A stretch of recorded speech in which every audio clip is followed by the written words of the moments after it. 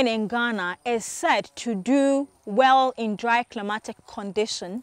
Let's find out more about orange farming here in Suhum, whether or not that is the kind of condition it does well more under. My name is Enyonam and this is Ghanaian Farmer. The show is proudly brought to you by Lizzie Tomato Mix. If you go to the market and you're shopping, remember to buy Lizzie to cook all your meal in the house. It gives you a great and delicious taste. You can share your views with us on social media, Facebook, LinkedIn, YouTube. It's the Ghanaian Farmer. And I have here with me Mr. Samuel Akpalu. He is the owner of Three Acre Orange Farm here in Suhum. Thanks for joining me, Samuel. And congratulations. Thank you. Now, what inspired you to go into orange farming? Uh, I once visited a, a colleague farmer at uh, Titikasum who was also into citrus.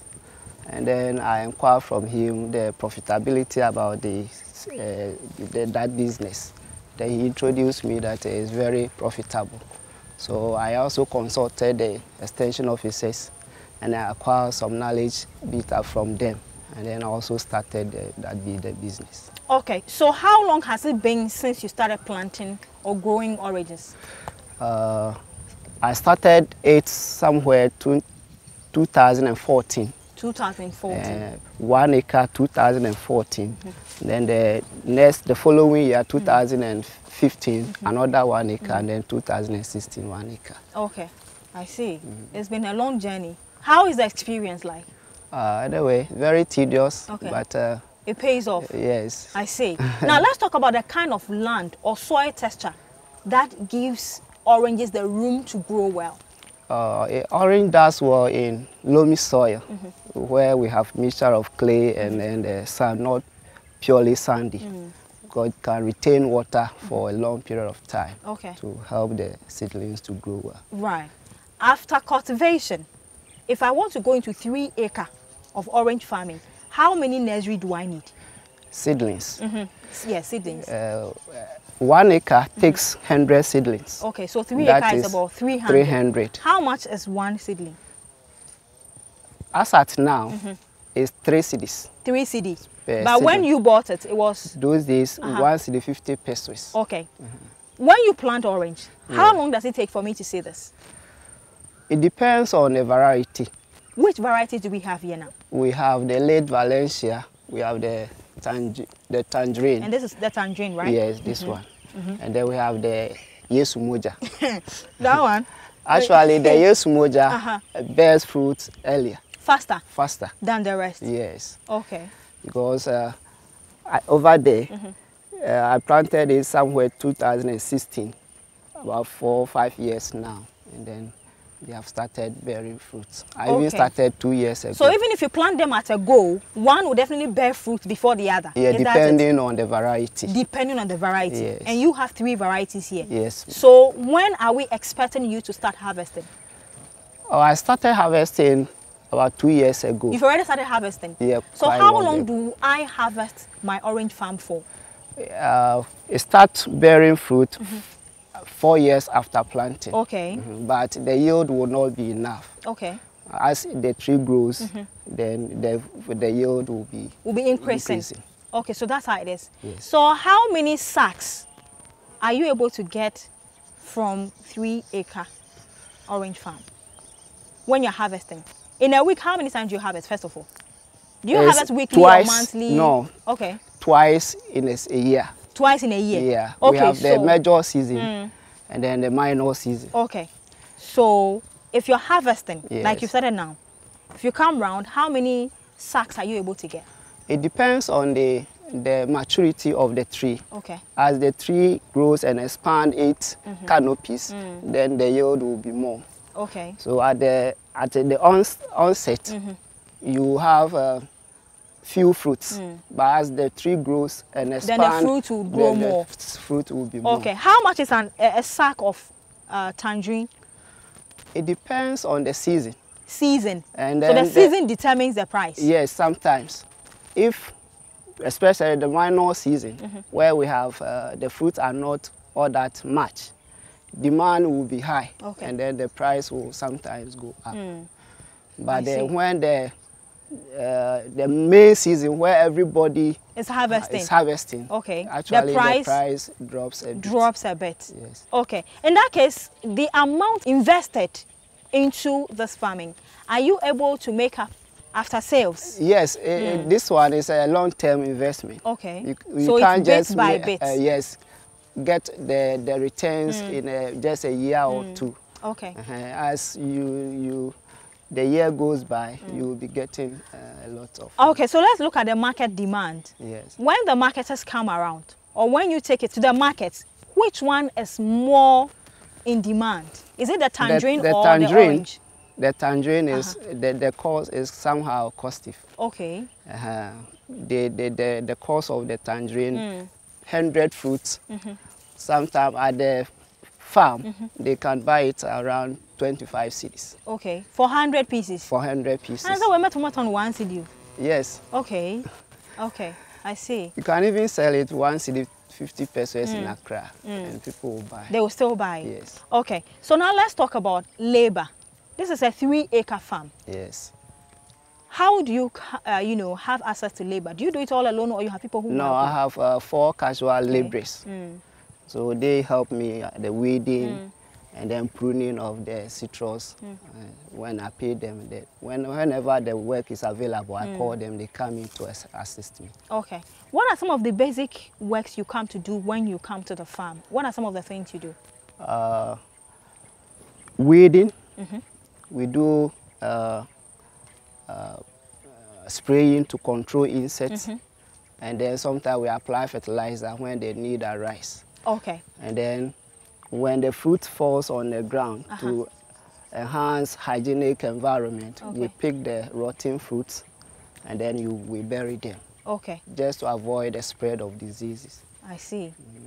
All right. So at this point, I'm going for a break. When I come back, we will touch on the diseases All right. that affect orange farm. okay. So viewers, you're still watching The Ghanaian Farmer. My name is Enyonam and standing next to me is Samuel Akpalu, three acre orange farmer here in Suhum. I'll be right back after this.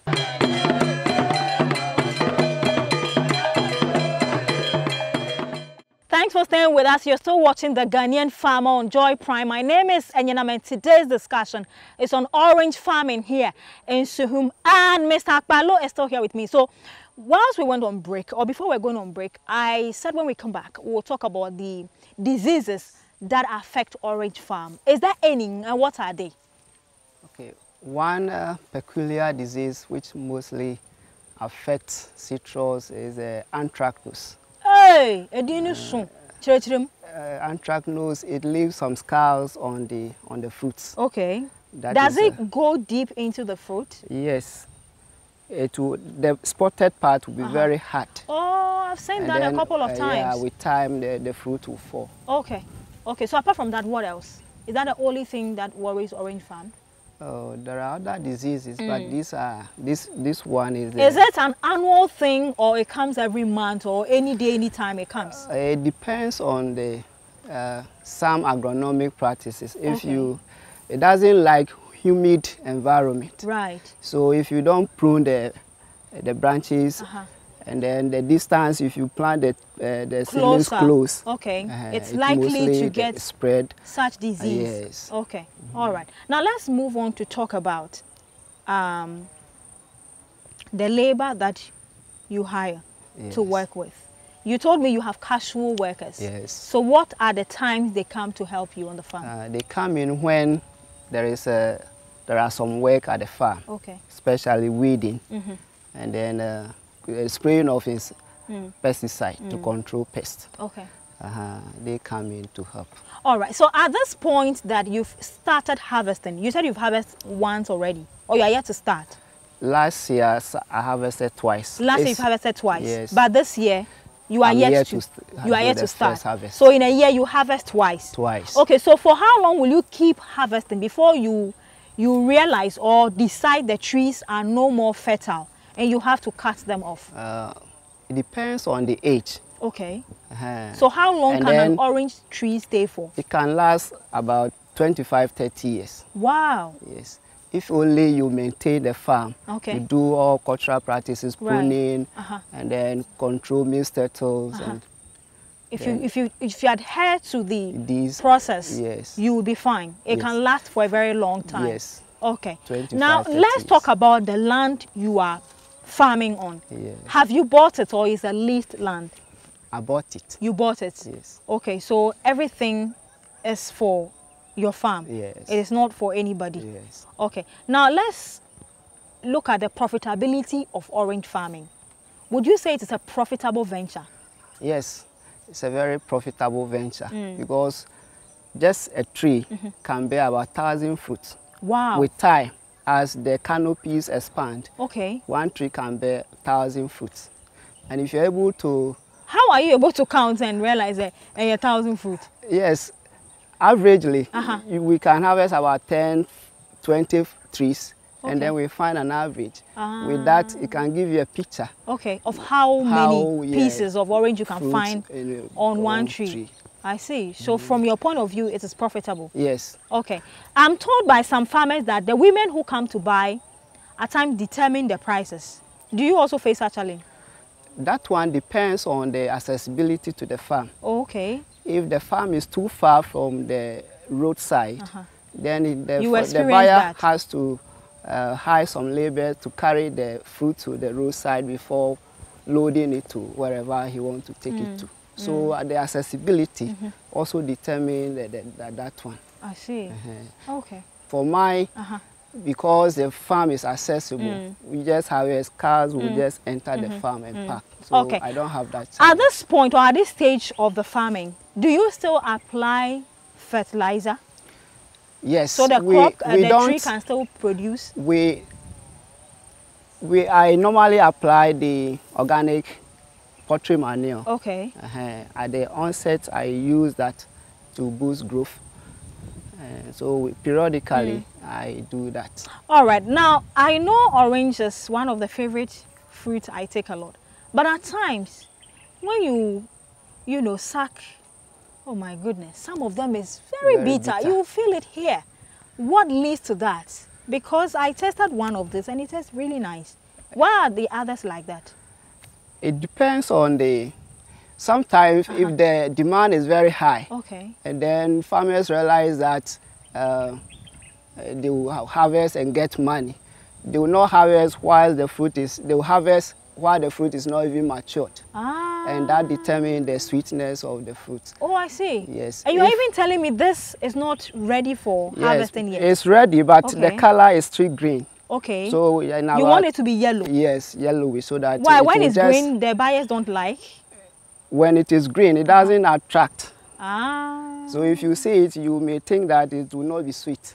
Uh-huh. Uh-huh. So when the color comes, Uh-huh. the moment you, you set your eyes Mm, on it, will attract you and you buy. I know government has a few, you know, subsidy on some of the input you buy for your farms. As a farmer, when you're going to buy all these things, do you experience these subsidies? Uh, we mostly experience these subsidies from products from the, More the farm houses? MOFA offices. Okay. But if you go to the uh, those uh, The outlets, independent shops. then you don't. Uh, You will not get get that uh, subsidy. Okay. Yes. But but so as a farmer, what has been the major challenge for you in this line of farming? In this line of farming, my Mm-hmm. major challenge is the uh, the insects, Okay. the fruit borers. Uh-huh. They disturb us a lot. Okay. They will just pin the fruit Uh-huh. and then create some wounds on it, and then to be infected by some uh, fungus, and then the fruit will fall. One time I bought orange. Maybe a munu. Gongomi was inside. Uh, what led to that? It's because of the fruit borers. They will pin the fruit Uh-huh. And that will create an, an entry point for infection. Ah. And then my, um, uh, some bacteria will infect the fruits, Okay. and then it will fall. All right. What what have you learned so far for this past years you've been in orange farming that you can share with someone who is watching and probably is motivated by your story to also go into orange farming? All right. I can say that uh, it's very uh, profitable. Mm. If only Mm-hmm. you do it well, Okay. you also get some good returns. Mm. Because just a, a, a a tree Mm-hmm. bearing about a thousand fruit Mm. at a farm, you can sell a hundred fruit for 15 cedis. So with just uh, one tree, you can get about 100 and So, so the returns is So really return good. is good. Now, quick one. Uh, I mean, the last one. I see this place is really plain. Why? Are you not permitted to plant any other crop Oh, at this level of the orange? you are permitted. Okay. It depends on the canopy. Okay. You know, when the canopy The canopy means the branch. broad, Okay. yeah, you the, if you plant any crops under it, you may not get enough sunlight Ah. to perform. So that's it. the only reason. that is the only reason. Okay. Okay. But with this, you can plant cowpeas Mm-hmm. between the, the rows Mm. to conserve moisture Mm-hmm. and to also improve the soil Mm. fertility. Okay.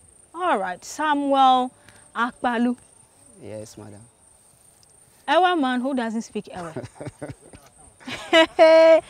All right, so there you have it, an interesting and great conversation about orange farming here in Suhum and his throw more light on his journey and how fun it's been with little bit of challenge in there. But at this point, I'm going for 60 seconds on our break. When I come back, a MOFA officer will join me to throw more light on the technical, uh, you know, kind of support they give to those farmers to ensure that at the end of the day, when they are harvesting, they will smile and not frown their faces. And you need these MOFA officers anytime you are aspiring to become a farmer. Stay tuned, I'll be right back after this.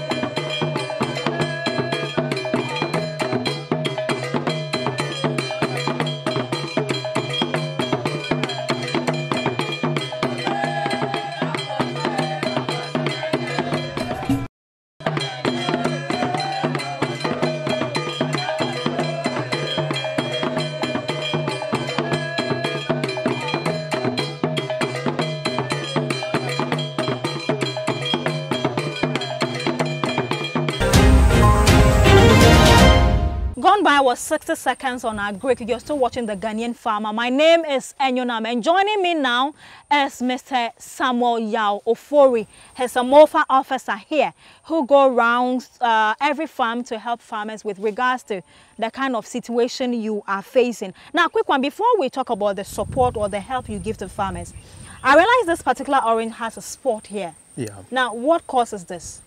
yeah, it's a fungus uh, that causes that. Uh, in the fruit or the crop uh, production, we have uh, fungus, bacteria, and viral. Okay. They are mostly those uh, the diseases that affect plants. Yeah, so the fungus at times comes from the soil Okay. and it is transmitted to the plant. Yeah, so we try to advise them to have a good knowledge about the causes of diseases of the plant. So this is a, a fungus disease. I know with cocoa, Yes. when you have that kind of infection and you don't you know removed or detach it from the plant to go and plant it or some bury it somewhere it affects the whole you know tree Yeah. is it the same thing with oranges too Yeah, it is. This one, uh, the, the, the sign that or the, the scar that you are seeing there, it has already laid some eggs in Okay. it. ah And it's through that, it's also the end result will be mm. fruit dropping. okay the fruits will drop. And if you don't collect and bury, mm. it's really transmitted back to the plants. okay So we normally advise them on farm hygiene. Mm. As you can see, mm-hmm. the farm is very clean. Uh, it's not weedy. When it is cleared and the fruits are those infected ones, you try to pick them and bury them so that you, you bury the disease. Ah, so that is what we do. with your experience working with fruit farmers Yeah. i know vegetable people have a, a few challenges especially with export many times we hear the foreign countries placing ban on vegetables from you know being exported to their countries how is the fruit people what is theirs like Yes, uh, it, I mean, it's, it cuts across. Okay. Because if you your your final fruits, Mm-hmm. uh, the appearance, Mm. uh, the quality, Mm-hmm. If it's not of the best, Mm. it affects the, the the the market value Okay. in terms of bargaining for good price and all that. Okay. So even though you are not exporting, the local market, if Mm. You still have to adhere to the. But are it's- the yeah. farmers aware of this secret you're just revealing that if you do not adhere to the good agronomy practices and the fruit is not of good standard, it will be rejected. Are they aware of this? Yes, uh, to some extent, because it's not all the farmers that are taking the advice of the technical officers. Why is it like yes, that's why we are encouraging that most of the farming communities should form groups. Okay. You know, because of the extension farmer ratio, it's difficult for us to get to every farmer in the community or operational area.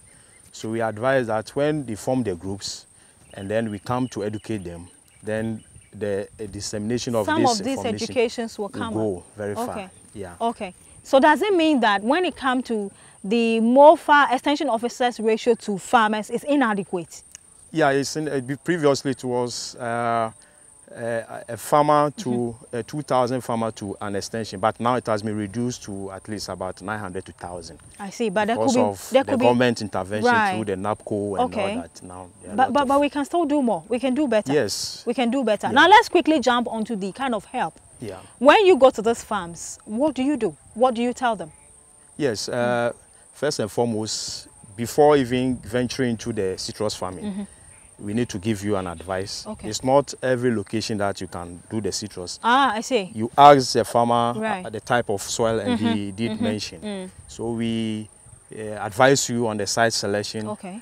and then the source of the seedlings. Mm. Uh, you need to have your, because the end results start with, you know, the beginning. Okay. Yeah, so we try to advise you. Mm. Other farmers do their own, you know, uh, uh, Soil testing. no, uh, the, the nursery. Okay. Mm. They, they, they go to farms, they see the fruit is Nice. nice. They just try to, it. you know, propagate by themselves. But we always advise That's not a good practice. No, Okay. to go to the source. Okay. Mm. That's why he mentioned the, he went to uh, Kade. Okay. That is a government institution that is recognized for, Mm. uh, you know. So when you come, we help you to uh, peg the farm. That is to plant them in rows Mm. Okay. so that Okay. uh, working under it will be uh, you know easily for you and if there is a problem with a particular plant you can replace Okay. immediately All right. yeah so that's is the beginning stage and then we also encourage them to interplant uh, before the you know crops will form the canopy so that uh, you you maximize profit from the, the land Okay. So um, it Yeah. means that there's a lot of help yes you can get from the MOFA officers when you contact them before even starting off the farming journey. My name is Enyonam and this has been Ghanaian Farmer. It's always exciting. I learn a lot anytime I visit the farm. And here is Mr. Samuel Yao Ofori. He says it's a lot of investment to get the six pack or is it 12 pack? Thank you very much for watching. I'll see you next week.